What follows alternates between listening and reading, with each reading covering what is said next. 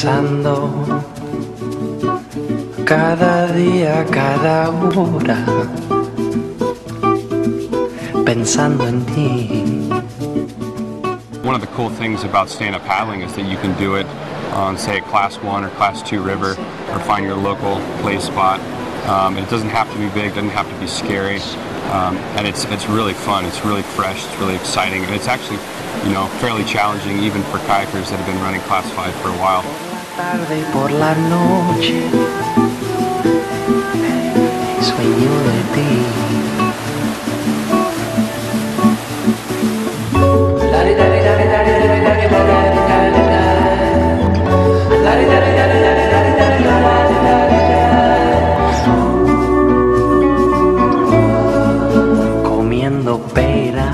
For me, stand-up paddling um, is really all about interacting with the water. Growing up, whether it was uh, a river, a lake, or an ocean, I just had a, a draw to the water. And stand-up paddling has really enabled me to get on the water and express myself um, and just really interact with the river, which has been really cool. That's what it's really all about is people are looking for a way just to interact with the water, have fun out there, really enjoy themselves and express themselves on the water in a different way. Um, and the stand-up paddling, and specifically the Badfish boards, um, that are a totally whitewater specific brand have been opening up the doors for that to be possible.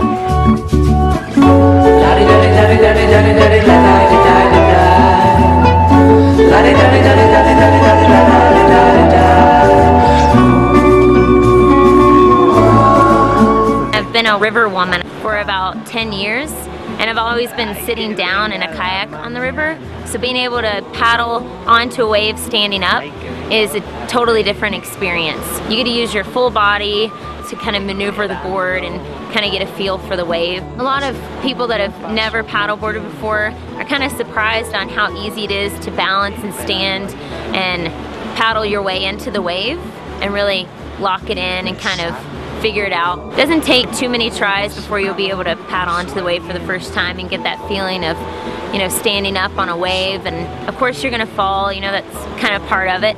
You can always catch the eddy, swim down and paddle back up and try it again.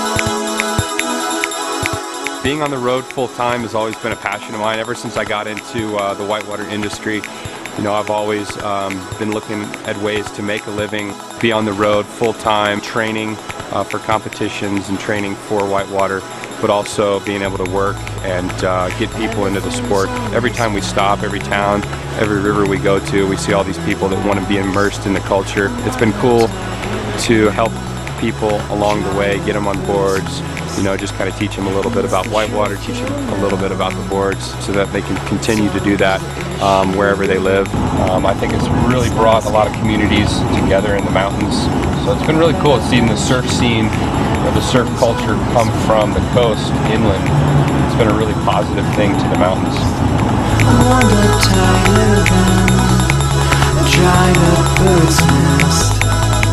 It's the truth you know.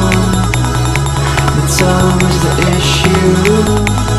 But when it starts getting blurry, one's never better than two. Everything's always better. We never run and rest. I wonder tighter than a dried up bird's nest. And it's the truth you know.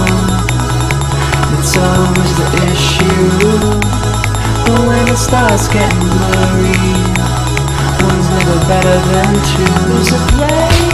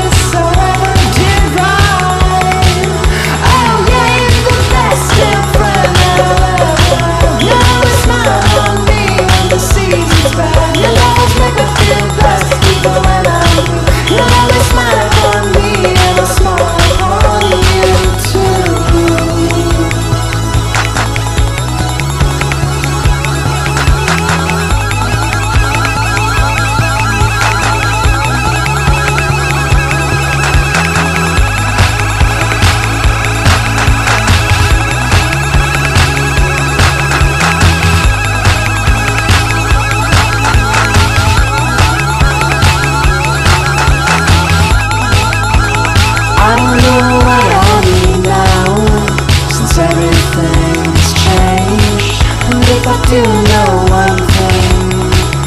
It's me who's feeling everything is different.